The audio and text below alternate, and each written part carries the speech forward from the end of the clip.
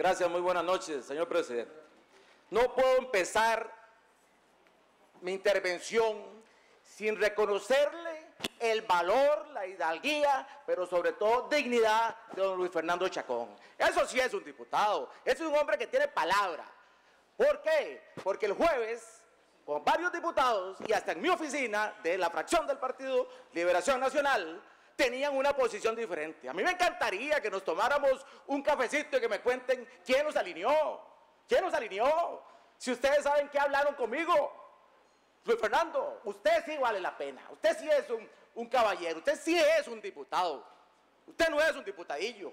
Hasta esos que quieren ser candidatos, que se cambian de la noche a la mañana por miedo a la presión de los, de los, de los, de los medios de comunicación, que son los que realmente tienen poder en este país y son los que se han alineado. Esos medios de comunicación que hace cinco años echaron al magistrado con este mismo grupo que quiere elegir a Oscar González por violencia sexual.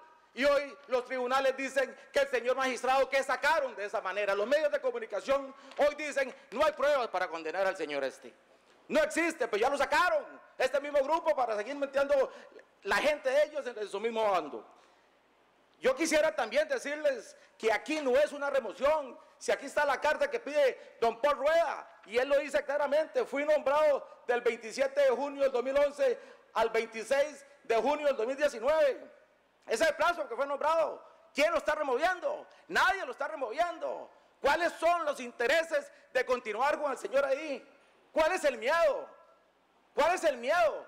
El miedo es de los grupos que están investigados por el Tribunal Supremo de Elecciones, de los que van a ir, de los que le van a levantar toda la, inmunidad y a todo ese es el miedo.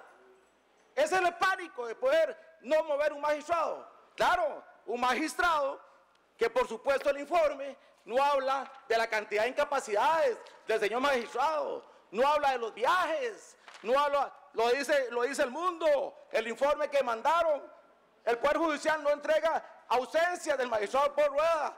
El magistrado que más hizo falta en la Corte Plena, el que más hace falta ahí.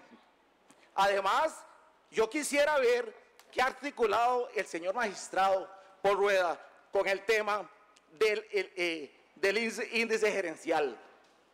Hace dos años hay una acción de inconstitucionalidad. Y el magistrado Rueda no ha gestionado para ver eso.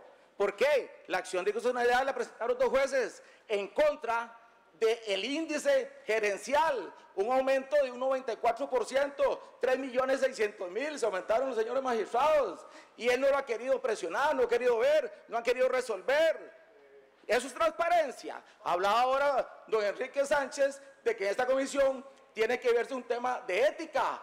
Bueno, semánticamente posiblemente no tenemos el mismo concepto, porque bajo la línea nuestra eso es indecente, eso es claramente indecente. Yo también quiero decirles que en la renovación del edificio de la Corte Suprema de Justicia, firmado aquí por don Fernando Cruz, la adjudicación de esa remodelación empezó con 3 mil millones. Pero hoy esta remodelación va a terminar con la módica suma de 6 mil 500 millones. ¿Y dónde estaban por rueda haciendo investigaciones? ¿Dónde está revisando eso? Si eres parte de esos.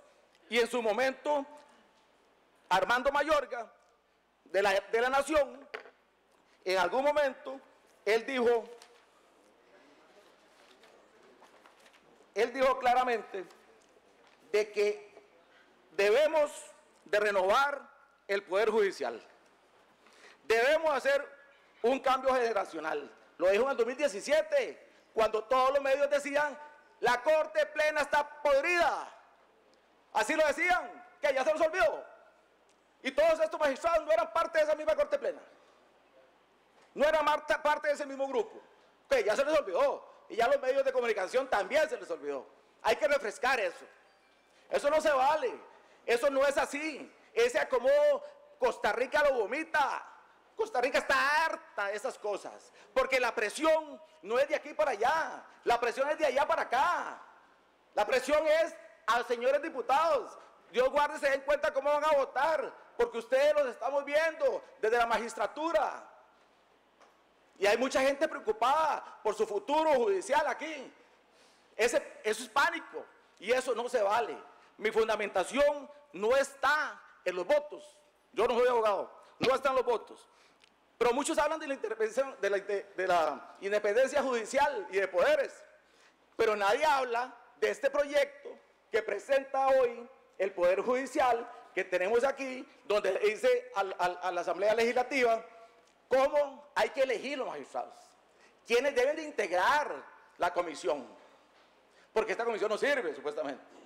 ¿Cómo? Ahí se le dicen, pero en el proyecto, en ningún lado quitan ellos que la elección de los magistrados suplentes deja de ser responsabilidad de ellos. ¿Quieren seguir manejando eso? Bueno, don Paul en sus actas igual continúa apoyando eso. Esto se paraliza por la intervención de la magistrada eh, Rocío Rojas. Y efectivamente, no quiero, yo quiero terminar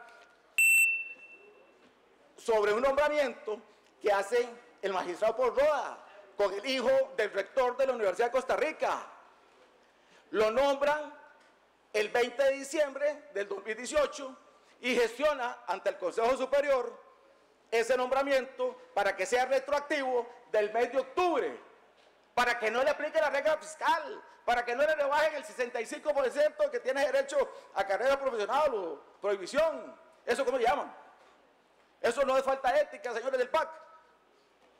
¿O es que es de la ética de ustedes? Esa es mi pregunta.